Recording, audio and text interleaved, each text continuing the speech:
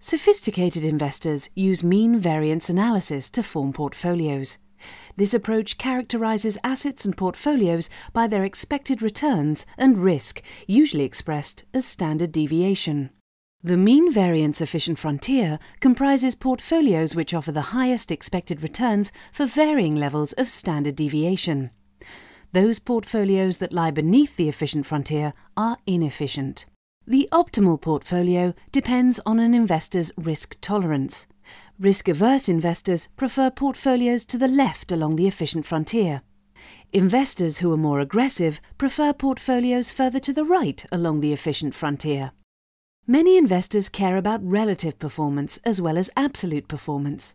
Risk within this context is defined as tracking error, which measures the volatility of relative returns. We can extend our two-dimensional graph to include a third dimension for tracking error. Now we can locate each asset according to its expected return, standard deviation and tracking error. We can also locate the mean variance efficient frontier according to the tracking error of the portfolios it includes.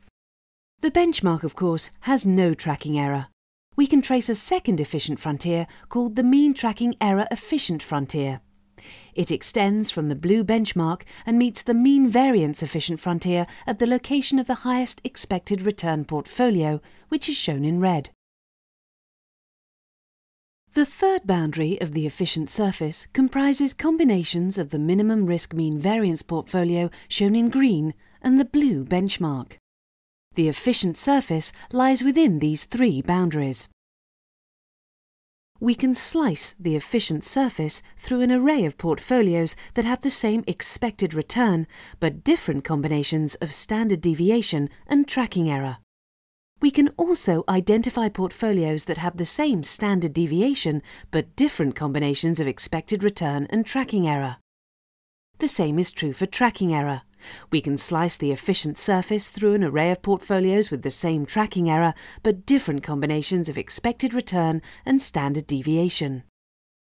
Just as inefficient mean variance portfolios lie beneath the efficient frontier, there exist portfolios beneath the efficient surface that are inefficient in three dimensions.